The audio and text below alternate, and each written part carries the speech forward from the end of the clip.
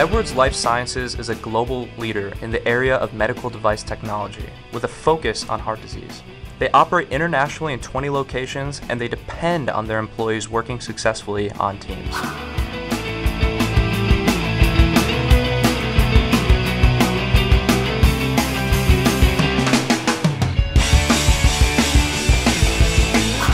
We are here interviewing Peter Lindwall, who has insights on the value of leadership and teamwork within their company. How much does Edwards Life Sciences value teamwork and the leadership it takes to run a global company? Edwards is very much a relationship-based company.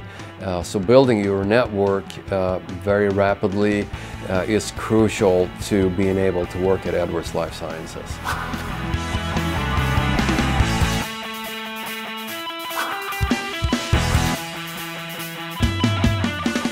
Does someone establish themselves when they join a new team of people they don't know? I would say that the key is to realize that nobody can do anything by him or herself. It's the team that does the work because of all the input we get from each other. Uh, therefore, again, uh, making sure that we don't think that we are the be-all, and all. Uh, so I think, again, the key aspect is humility, willingness to learn, and a willingness to listen.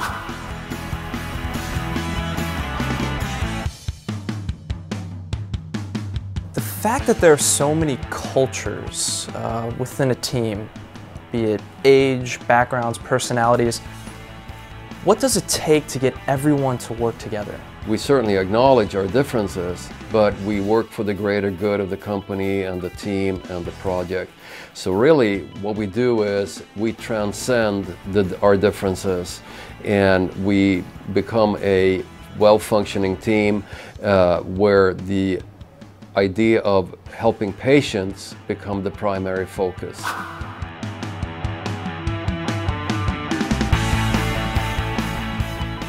How important is it and how do you build networks and relationships outside of the team? You have to build your network and you have to build it fast. Take every opportunity you have to interact with other teams, with other business units, and if you have an opportunity to travel, then travel. Uh, and part of it is to build a network and to actually attach a, a face to the voice because that is very, very important when you start to work in remote teams.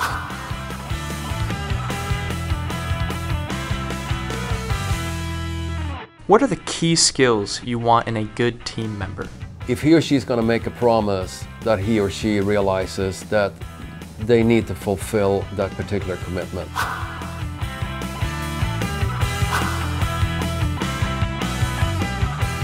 What does it take to be a good leader on your team?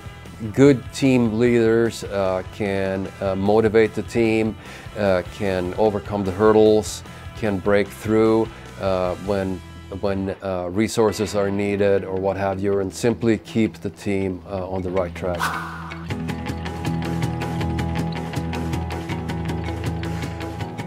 I don't believe that the aim is to avoid conflict at all costs. Uh, I also don't believe that we talk about conflict as something where people are upset or yelling and screaming at each other, but conflict I think more in terms of disagreements. And certainly you can't have a well-functioning team unless you have some disagreements, uh, especially among creative people. The skill that the team leader needs to have is to recognize uh, if indeed a disagreement somehow starts to escalate and to be able to step in and manage that. Uh, but conflict in the sense of having differences of opinion, especially around uh, creative ways of doing things or creative problem solving, uh, that is not necessarily to be avoided. Uh, it's something that I think we need to have, but it has to be in a professional uh, context and it has to be managed correctly. Uh, but again, some conflict is good.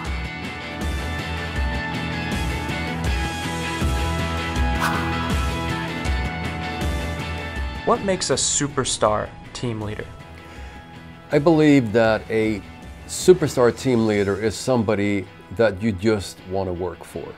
Uh, somebody that has charisma, but also somebody that you know is willing to roll up his or her sleeves to actually get the job done.